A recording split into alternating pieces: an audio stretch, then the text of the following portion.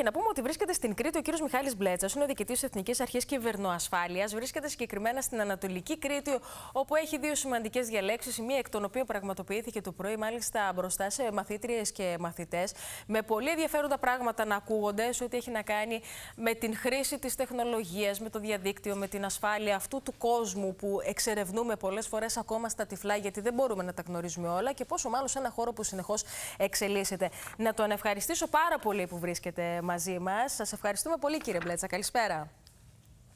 Καλησπέρα. Σας ευχαριστούμε που είστε μαζί μας γιατί ξέρετε τα θέματα είναι πολλά ε, με τα οποία όλοι ερχόμαστε έτσι αντιμέτωποι και σίγουρα έχουμε και απορίες. Εγώ θα τολμήσω να ρωτήσω για την πρωινή σας επαφή με τους μαθητές και με τις ε, μαθήτριες. Φαντάζομαι, τολμώ μάλλον να φανταστώ, ότι όλη η συζήτηση, περισσότερο και το δικό τους το ενδιαφέρον, ε, κινήθηκε γύρω από τα μέσα κοινωνικής δικτύωσης. Ε, περισσότερο για την τεχνητή νοημοσύνη. Τα μέσα κοινωνικής δικτύωσης είναι μια εφαρμογή της τεχνητής νοημοσύνης, ειδικά οι μηχανές προτίμησης. Πιο συγκεκριμένα, οι μηχανές προτίμησης στα μέσα κοινωνικής δικτύωσης, δηλαδή οι μηχανισμοί μέσω των οποίων ε, βλέπουμε, διαλέγουν τα μέσα κοινωνικής δικτύωσης το περιεχόμενο που θα μας δείξουν. Ε, γενικότερα όμως νομίζω ότι προσπαθήσαμε έτσι να απομυθοποιήσουμε λίγο την τεχνητή νοημοσύνη εξηγώντας πώς δουλεύει και τελικά εξηγώντας ότι δεν είναι και τόσο νοημοσύνη τόσο ναι. πολύ νοημοσύνη όσο όπως τουλάχιστον αισθανόμαστε την ανθρώπινη νοημοσύνη. Είναι νοημοσύνη αλλά είναι κάτι διαφορετικό. Ότι ήρθε για να αντικαταστήσει τους ανθρώπους όπως μπορεί πολύ ναι. κάποιος εύκολα να σχολιάσει ε, κάποιος κύριε Μπλέτσα. Κοιτάξτε να δείτε, ε, κάθε φορά που έχουμε μια τεχνολογία αυτοματοποίησης ναι. Ε, αντικαθιστούμε κάποιους Αυτό έχει ξεκινήσει από αρχής τεχνολογίας. Ε, απλά τώρα μας τρομάζει λίγο περισσότερο αφενός διότι μέχρι τώρα νομίζαμε ότι η νοητική διεργασία ε, δεν επιδέχεται αυτοματοποίησης. Κάτι που δεν συμβαίνει, που δεν ισχύει πλέον και αφετέρου διότι αυτό μας φαίνεται λίγο ακόμα μαγικό, δηλαδή το ότι η μηχανή μιλάει καλύτερα από εμάς. Ναι. Μας τρομάζει λίγο. Τελικά η τεχνητή νοημοσύνη είναι σύμμαχος ή εχθρός ή και τα δύο ανάλογα την περίσταση και το πώς τη χρησιμοποιούμε; Είναι ούτε το ένα ούτε το άλλο. Είναι ένα εργαλείο. Το πώς θα το χρησιμοποιήσουμε είναι δικό μας θέμα. Όχι της τεχνητής νοημοσύνης. Ε, ευτυχώς ή δυστυχώς η τεχνητή νοημοσύνη δεν, έχει, δεν σχεδιάζει ακόμα, δεν έχει σκοπό ναι. ε, και δεν λειτουργεί ανεξάρτητα από εμάς. Άρα έχει να κάνει με το πώς, ποιες είναι οι προθέσεις του χρήστη. Ακριβώς. Ε, Πάμε λίγο και στο κομμάτι των μέσων κοινωνικής δικτύωσης, ό,τι έχει να κάνει κυρίως με το κομμάτι των νέων παιδιών. Και το ρωτάω αυτό, κύριε Μπλέτσα, γιατί η αλήθεια είναι ότι βλέπουμε πολλές φορές και μέσα από τα μέσα κοινωνικής δικτύωσης να στείνονται, αν θέλετε, ακόμα και αυτά τα περιστατικά βίας τα οποία ξεδιπλώνονται ή λόγω των μέσων κοινωνικής δικτύωσης ή μέσα από αυτά. Η βία παίρνει μια άλλη μορφή. Ε, υπάρχει έτσι ε, πολύ έντονος προβληματισμός γύρω από αυτό; Κοιτάξτε, υπάρχει πάρα πολύ έντονος προβληματισμός, αλλά νομίζω ότι κινείται η αντιμετώπιση είναι λάθος. Mm Αφενός δεν εξηγούμε γιατί. Αφετέρου, επειδή δεν μπορούμε να κάνουμε κάτι, ε, δαιμονοποιούμε ε, το μέσο. Ναι. Παγορεύουμε τα κινητά. Το πρόβλημα δεν είναι με τα κινητά, είναι με τα μέσα κοινωνικής δικτύωσης. Έτσι, δηλαδή, ε, είναι καλό να δείχνουμε το πρόβλημα πάντα. Ε, και σε τελική ανάλυση είναι φτιαγμένα να κάνουν αυτό για το οποίο, το οποίο είναι φτιαγμένο να κάνουν. Τα μέσα κοινωνικής δικτύωσης είναι φτιαγμένα για να μας κρατάν συνέχεια την προσοχή. Και η προσοχή μας αποσπάται περισσότερο από βία, από ψεύτικες ειδήσεις, ε, από περιεχόμενο τραβηγμένο, από περιεχόμενο ψευδές. Είχαμε κάνει μια μελέτη στο Media Lab που ε, στο Twitter είχαμε μετρήσει ξεκάθαρο ότι οι ψευδείς ειδήσεις μεταδιδόντουσαν έξι φορές πιο γρήγορα από τις αληθείς. Απλά γιατί συνήθως είναι πιο συναρπαστικές. Ε, έχουμε λοιπόν μια κατάσταση όπου έχουμε θυστεί όλοι στην ε, κατανάλωση έτσι, μικρών πακέτων πληροφορίας, τα οποία επιδρούν περισσότερο στις ορμόνες από ό,τι στη λογική μας. Είναι επομένως πολύ πιο αξιόπιστα στην επίδρασή τους. Άρα είναι αρκετό. Οι ορμόνες δουν αυτόματα. είναι αρκετό να είναι αρκετά πιστικά, λοιπόν. Ε; Δεν χρειάζεται να είναι πολύ πιστικά, χρειάζεται να έχουν την κατάλληλη επίδραση. Και οι αλγόριθμοι και τα μοντέλα τεχνητής νοημοσύνης που χρησιμοποιούν για να ταιριάξουν το τι μας δείχνουν, κάνουν αυτό ακριβώς, αυτή ακριβώς τη δουλειά. Δηλαδή βρίσκουν το κατάλληλο κοινό για την κατάλληλη είδηση. Είναι, Έτσι ώστε... Ναι. Έτσι ώστε ο χρήστης να την καταναλώσει. να ε, περάσει την ώρα του εκεί. Άρα μπορούμε να πούμε, δεν ξέρω αν είναι έτσι μια πολύ ε, εύκολη απλούστευση, να πούμε ότι ζούμε στην εποχή της παραπληροφόρησης και όχι της πληροφόρησης και το λέω αυτό γιατί ε, αυτή η λάθος πληροφορία, η ψεύτικη πληροφορία, αυτή που διαδίδεται λοιπόν πολύ πιο εύκολα από την ε, αληθινή, είναι αυτή που κατακλεί και κατά κύριο λόγο λοιπόν τα μέσα, έτσι. Ε, ξανά, είναι πολύ εύκολο για όλους να δημιουργήσουν πληροφορία, να αναπαράξουν πληροφορία και ξέρετε, υπάρχει αυτό το καταραμένο το share, το μοιράσου. Ναι. Στα μοίρασε στα μέσα κοινωνικής δικτύωσης, όπου ε, το πατάμε. Όταν βλέπουμε κάτι ενδιαφέρον, χωρίς να σκεφτούμε πάρα πολύ, λέμε στείλ το και στους φίλους σου. Γι' αυτό διαδίδονται οι ειδήσεις πολύ γρήγορα, οι ψευδείς ειδήσεις. Ε, ειδικά ακόμα πιο γρήγορα από τις αληθινές. Πολλές φορές η πραγματικότητα δεν είναι τόσο συναρπαστική. Αυτό το ξέραμε πάντα, γι' αυτό είχαμε τη μυθοπλασία. Ναι. Ε, ζούμε όμως σε μια εποχή όπου δεν έχουμε μάθει να ξεχωρίζουμε, να διαλέγουμε την πληροφορία. Εκεί είναι το πρόβλημα. Δεν έχουμε φίλτρα. Και εκεί είναι το πρόβλημα. Δεν έχουμε φίλτρα. Εκεί λοιπόν το πρόβλημα αφενός έχει να κάνει με τις μεγαλύτερες γενιές οι οποίες είχαν συνηθίσει όταν βλέπουν κάτι στα μέσα ενημέρωσης να ξέρουν ότι με μεγάλη πιθανότητα είχε μεγάλο ποσοστό αλήθειας μέσα. Άρα τώρα λοιπόν που το ε, βλέπουν στα μέσα κοινωνικής δικτύωσης... Σήμερα δεν ισχύει. Επομένως οι μεγαλύτεροι είναι ότι βλέπουν το καταπίνουν αμάσιτο. Mm -hmm. Συνήθως, διότι έτσι έχουν συνηθίσει. Είναι ψηφιακοί ε, νομάδες. Δηλαδή γεννήθηκαν σε ένα άλλο κόσμο και τώρα είναι λίγο ξένοι σε αυτό το καινούργιο κόσμο. Ναι. Ε, τα παιδιά πάλι που είναι ψηφιακοί ηθαγενείς δεν ήξεραν κάτι άλλο αλλά δυστυχώς στο εκπαιδευτικό μας σύστημα δεν καλλιεργούμε την κριτική ικανότητα. Δηλαδή, είναι, υπάρχει ένα παράδοξο αυτή τη στιγμή ότι ενώ μπορούμε πολύ εύκολα να ελέγξουμε κάτι, mm-hmm. συνήθως η αλήθεια, τις περισσότερες φορές, είναι μια αναζήτηση στο Google μακριά. Ναι. Και δεν το κάνουμε. Ε, δεν το κάνουμε. Απλώς επειδή κάτι μας ενδιαφέρει, Μας τραβάει την προσοχή, το καταπίνουμε αμάσιτο. Ή αγγίζει Δεν το συνέστημά μας, λοιπόν. Ναι. Ακριβώς. Αγγίζει το συνέστημα, αγγίζει το θυμικό, όχι τη λογική. Ε, είναι και αυτός ο, ο, ο ρόλος και της ε, Εθνικής Αρχής, λοιπόν, στην οποία είστε και διοικητής, γιατί είναι μια νέα ε, αρχή, η Εθνική Αρχή Κυβερνοασφάλεια και δεν ξέρω μέχρι πού σε Κοιτάξτε, ένα πώς, τέτοιο επίπεδο. Πώς ταιριάζουν αυτά τα δύο. Ναι. ναι. Ε, εμάς ο κύριος μας ρόλος είναι ο ρυθμιστικός όσον αφορά την ασφάλεια των συστημάτων. Mm. Δηλαδή μας απασχολεί περισσότερο τα συστήματα που χρησιμοποιούμε. Να είναι ασφαλή. Τι σημαίνει αυτό; Να είναι διαθέσιμα, να κάνουν τη δουλειά για την οποία έχουν σχεδιαστεί, να προστατεύουν τα προσωπικά μας δεδομένα. Από εκεί και πέρα όμως, αν δούμε την απάτη αυτή τη στιγμή στο διαδίκτυο και γενικότερα στην κοινωνία σήμερα. Είδα πριν τη θεματολογία σας, για παράδειγμα. Ε, πώς συνδέονται αυτά; Μέσω των μέσων κοινωνικής δικτύωσης κάνουμε γνωστές πάρα πολλές πληροφορίες για μας. Πολλές φορές άθελά μας. Ε, η νέα γενιά το κάνει χωρίς συνέστηση. Η μεγάλη επειδή δεν καταλαβαίνουν τη χρήση της τεχνολογίας. Τι σημαίνει αυτό; Γινόμαστε πιο εκτεθειμένοι σε απάτες. Όσο πιο πολλά ξέρει κάποιος για μας, τόσο πιο εύκολα μπορεί να μας εξαπατήσει. Ε, η συγκεκριμένη απάτη που αναφέρατε στην ε, σημερινή σας θεματολογία, ένα τέτοιο τηλεφώνημα έλαβε και η μητέρα μου πριν λίγο καιρό, ναι. η οποία αγριεύτηκε αρκετά διότι ενώ κατάλαβε ότι κάτι δεν πάει καλά, ήθελε να το επιβεβαιώσει γιατί αφορούσε ένα ατύχημα που έπαθε η αδερφή μου, η οποία ζει στο εξωτερικό, η οποία έτυχε εκείνες τις μέρες να είναι στα Χανιά. Καταλαβαίνετε λοιπόν ότι για να πετύχει απάτη κάποιος ήξερε από κάπου πήρε πληροφορίες. Εκείνη τη στιγμή. Ναι, από κάπου παίρνει πληροφορίες. Συνήθως τέτοιες πληροφορίες τις παίρνουμε από τα μέσα κοινωνικής δικτύωσης.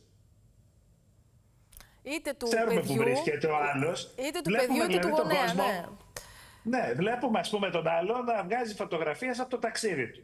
Βλέπει ο άλλος την ημερομηνία της φωτογραφίας και ξέρει πού είναι. Ξέρει ότι λείπει από το σπίτι του. Μία καλή πρόσκληση για να πάω να σε ληστέψω, ναι, να σε κλέψω. Ναι, σωστά. Ναι, λείπω. Ε, ε, το πολύ απλό παράδειγμα. Ε, από εκεί και πέρα ε, υπάρχουν ένα σωρό άλλες απάτες που μας απασχολούν εμάς. Για παράδειγμα, μας απασχολούν πάρα πολύ οι διαρροές των κωδικών. Πρόσβαση στα συστήματα. Αν κάποιος, για παράδειγμα, έχει τον κωδικό μας του TaxisNet, παρεμπιπτόντως οι κωδικοί αυτοί διαρρέουν συνεχώς. Για τον απλούστατο λόγο ότι τους μοιραζόμαστε με τους λογιστές μας. Γιατί τους μοιραζόμαστε για τους, με τους λογιστές μας, ενώ υπάρχει άλλη διαδικασία για να δώσουμε πρόσβαση στο λογιστή μας με το λογαριασμό του. Το κάνουμε γιατί ο λογιστής δεν θέλει να φαίνει το πελάτης. Αν κάνουμε την κανονική διαδικασία, μοιραζόμαστε αυτούς τους κωδικούς και αυτοί οι κωδικοί με τον ένα τρόπο με τον άλλο διαρρέουν. Αυτή τη στιγμή δηλαδή, αν κάποιος θέλει να πάει να αγοράσει κωδικούς TaxiNet, μπορεί από το λεγόμενο σκοτεινό διαδίκτυο. web, ναι. τη σκοτεινό διαδίκτυο, το dark web. Υπάρχουν πάρα πολλοί, mm-hmm. Οι οποίοι ως επιτοπλίστων έχουν διαρρεύσει απολογιστικά γραφεία. Ε, με αυτούς τους κωδικούς μπορούν να μπουν μέσα και να δουν όλη μας την οικονομική κατάσταση. Από πού πληρωνόμαστε, πού δουλεύουμε, πόσα λεφτά βγάζουμε. Καταλαβαίνετε λοιπόν πόσο πιο πιστική γίνεται μία απάτη που αφορά τραπεζικό λογαριασμό. Ναι. Ή, για παράδειγμα, κάποια άλλη απάτη. Πρόσφατα, στα Χανιά πάλι παρουσιάστηκε αυτό, ε, όπου καλούσαν γιατρούς ε, παριστάνοντας ότι ήταν από κάποια δημόσια υπηρεσία από την οποία ο γιατρός έπρεπε να πάρει χρήματα, που το έβρισκαν αυτό πιθανόν στη διάβγεια. Και πείθοντας τον γιατρό να τους δώσει κάποια στοιχεία ή να τους βάλει στον τραπεζικό του λογαριασμό έτσι ώστε να επιβεβαιώσουν ότι μπορούν να τους στείλουν τα λεφτά. Θα σας βάλω ένα ευρώ ας πούμε, δείτε πότε μπήκε, δώστε μου αυτό το κωδικό. Την ώρα που ο άλλος δούλευε, ε, όλοι είμαστε επιρρεπείς σε αυτό, ειδικά όταν ε, αυτός που θα προσπαθήσει να μας εξαπατήσει ξέρει πολλά πράγματα για μας. Επομένως, εμάς μας απασχολεί πάρα πολύ το να μην διαρρέουν, να είναι ασφαλή τα συστήματα και να μην διαρρέουν προσωπικά δεδομένα. Από την άλλη, όταν εμείς πάμε και τα δίνουμε όλα, βγάζουμε φόρα στα μέσα κοινωνικής δικτύωσης με τον ένα τρόπο ή με τον άλλο, ε, καταλαβαίνετε πόσο δύσκολο γίνεται να αποφεύγουμε αυτές τις απάτες. Επειδή τώρα μπορεί να αναρωτιέται ο κόσμο. και περισσότερες. Αναρωτιέται ενδεχομένως ο κόσμος τώρα που μας παρακολουθεί, κύριε Μπλέτσα. Καλά, εγώ στα μέσα κοινωνικής δικτύωσης μπορεί να μην βάζω πληροφορίες, μπορεί να μην έχω καν μέσα κοινωνικής δικτύωσης, μπορεί να μην υπάρχουν πληροφορίες. Μπορώ να εμπιστευτώ, είναι αρκετά ασφαλείς ψηφιακές πλατφόρμες λοιπόν του κράτους.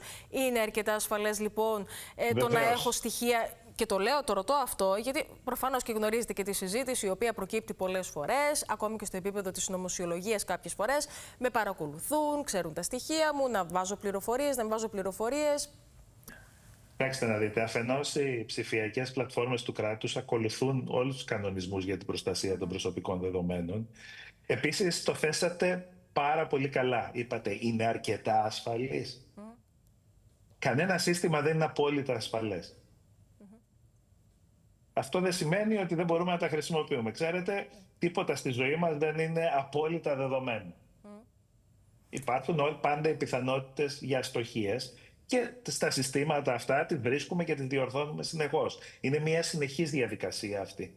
Δεν είναι κάτι που λέμε «Α, το σύστημα είναι ασφαλές, τέλειωσε». Συνέχεια γίνονται διαδικασίες βελτιώσεων, συνέχεια βρίσκονται μικρά σφάλματα. Υπάρχει ένας αγώνας δρόμου μεταξύ των καλών και των κακών, να τα βρουν πρώτα οι καλοί ε, ακολουθώντας κάποιους κανόνες όπως αυτούς που μπαίνουν αυτή τη στιγμή με την εφαρμογή της ε, κοινοτικής οδηγίας για την κυβερνοασφάλεια που βρίσκεται, της οποίας ο εφαρμοστικός νόμος βρίσκεται αυτή τη στιγμή, περνάει από τη Βουλή για ψήφιση ε, στις επόμενες μέρες.